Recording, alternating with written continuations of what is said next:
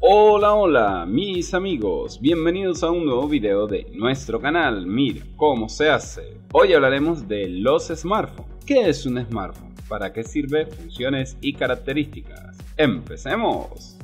Muy bien chicos, bienvenidos a un tutorial más. Antes de comenzar les recuerdo que si hacen clic en el enlace de la descripción van a llegar directamente al artículo web donde van a conseguir toda la información bien detalladita para que no se les escape ningún punto importante.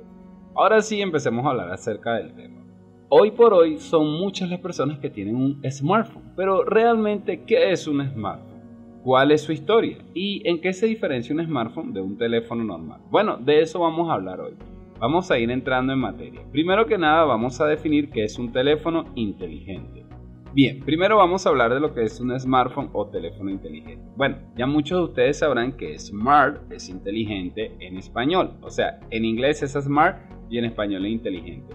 Y smartphone al final es teléfono inteligente. Pero exactamente, ¿qué hace que un teléfono se defina como inteligente o no? Bueno, realmente el término de teléfono inteligente se empezó a acuñar cerca del año 2000 pero no fue hasta el año 2015 cuando realmente se hicieron populares este tipo de teléfonos.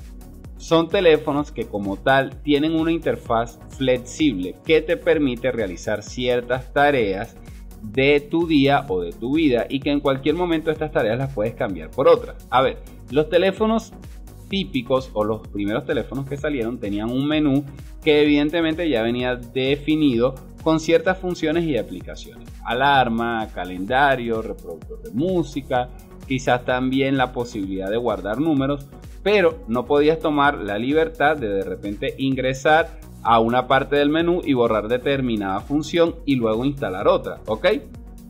Eso era porque la memoria ya venía grabada y pues no podías modificar. Con los teléfonos inteligentes nosotros podemos customizar lo que hay dentro de nuestro teléfono por lo menos una gran parte, ¿ok? Definiendo así qué funciones, en este caso las funciones se llevan a cabo a base de aplicaciones, van a estar dentro de nuestro móvil, ¿ok? Por ejemplo, para comprar podemos tener plataformas como Mercado Libre, Amazon, eBay, entre otras.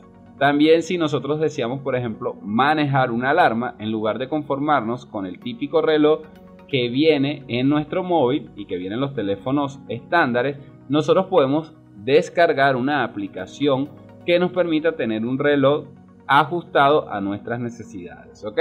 Además los teléfonos inteligentes tienen una base que también nos permite desarrollar nuestras propias customizaciones. ¿ok? Eso lo podemos hacer mis amigos directamente desde lo que es el modo desarrollador, que ya ustedes saben que en los Android se puede hacer, ¿vale? Normalmente nos vamos aquí abajo o sencillamente si no la tenemos activada la activamos esta opción nos permite a nosotros modificar ciertas cosas de nuestro teléfono que van más allá del ámbito de las aplicaciones. Por otro lado, deben saber que los teléfonos Android no son los únicos inteligentes. Por ejemplo, Apple tiene su línea de teléfonos inteligentes que son los iPhone. Windows en su momento también ha desarrollado teléfonos inteligentes bajo el software Windows Mobile, etc. Hay otros en el mercado también. Dentro de las cosas interesantes de los smartphones no solo está el hecho de que podemos descargar aplicaciones o programas que nos resuelvan ciertos problemas, sino que también podemos automatizar ciertas tareas y eventos.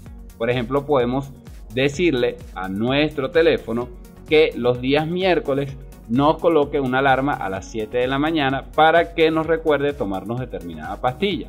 Entonces nuestro teléfono automatiza esa tarea. También podemos programarlo para que realice ciertos envíos de mensajes o ciertas respuestas predefinidas. ¿Ok? Bien, eso es todo chicos. Regálenos un like, suscríbanse al canal de YouTube y activen la campanita de notificaciones. Nos vemos pronto.